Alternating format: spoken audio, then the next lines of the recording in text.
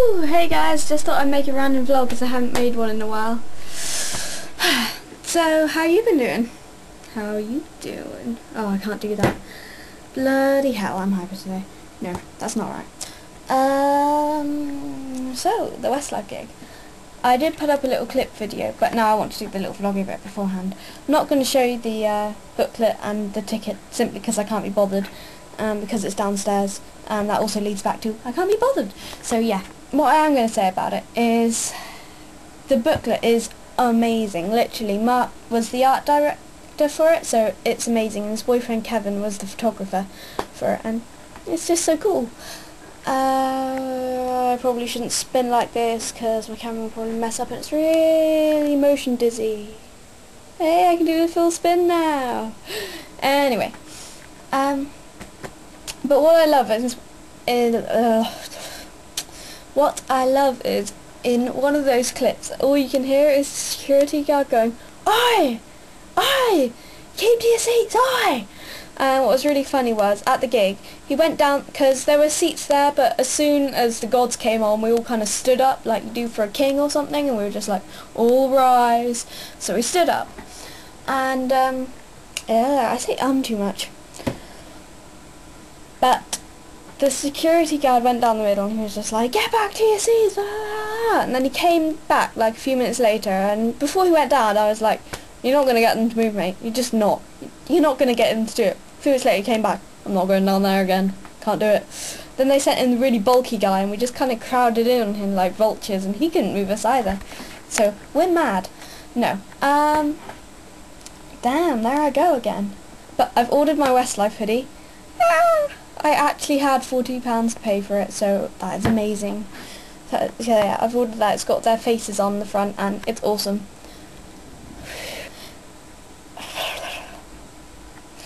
So, what I've been doing at the moment is I've got another video in the works. and I'm supposed to be entering a contest, which I don't even know is still on, so I should probably check that. But what I want to do is I want to cover a MCR song. So I've been practicing Disenchanted on my guitar, and I just have to practice it forever. So I probably won't even get the video up before the contest is finished, but I'm still going to put a video up to it. So, I hope that'll go okay. I'm not very good at it yet. It's going to take me ages, guys. And also, another thing I've been doing recently is video gaming, like, but I play, I play, like, kind of old video games. Not old old, just, like, stuff that is slightly out of fashion, like the PS2 and the GameCube. Stuff like that, because I'm just, like, I catch it onto everything, like, a year too late. It's really funny. I'm just, I refuse to do it, and I refuse to do it, and then in the end, I'm like, actually, I quite like this, and everyone else is like, uh, we moved on, dude. So now I'm just kind of playing video games that nobody else plays anymore. But PS2 is legend, and I've been playing loads of Tony Hawk's recently. But right, me and my friend recently went in, out into town and bought a load of like video games, and it's just really weird how people think of them as like nerdy and rubbish and stuff because they're not. They're actually really cool. But um, it depends what you like. Because I really can't get into stuff like Final Fantasy or Call of Duty or all of that kind of stuff because I know they're really different, but I can't get into them because they're just there's just so much to bother to get into and I can't be bothered. So basically, all I do is Jak and Daxter and Tony Hawk's, and that is it. Oh, maybe Harry Potter. That too. But, um, so basically I play out of fashion computer games that are really sad.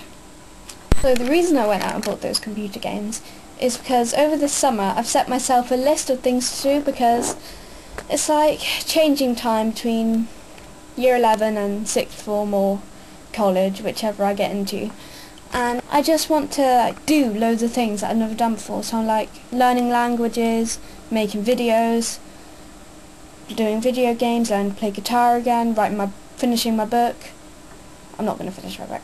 Reading this pile of books that I've got by my case. Just stuff like that. So I bought like loads of computer games to play and complete over the holidays. But, right, my question today is, what are you planning to do with the holidays that you've never done before? Like, try something new. Just do it, man. I mean, me and my dad tried this hottest chili sauce in the world the other day, and you know, I don't even know why we did it. We just we this man tried it before us and was hiccuping with the heat, and he just said, "Oh yeah, try the middle one." So we tried it, and then I was just like, my mouth was numb. But then just to prove that I was a bit stronger than the man before us, I was just like, "Well, it's not that bad." And inside, I was just like, "It's quite bad, really, isn't it?" And then my dad was just like, and then the man made, made us read the back, and it was the strongest chili in the world, and I was just like, bastard. No. Anyway, so that was cool, but we tried something new, you know? And yeah, so what do you plan to do this holidays or this summer that is new, that you've never done before?